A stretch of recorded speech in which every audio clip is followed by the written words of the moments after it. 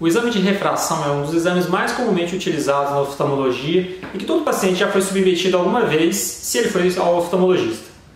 Serve para a gente conseguir quantificar qual que é o grau que aquele paciente tem para ele conseguir enxergar melhor.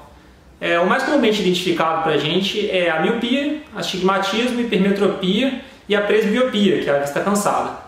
Através do exame de refração, a gente consegue prescrever a correção ideal para o paciente seja ela o óculos, uma lente de contato ou algum procedimento cirúrgico, e a gente consegue colocar a visão do paciente no potencial máximo dele.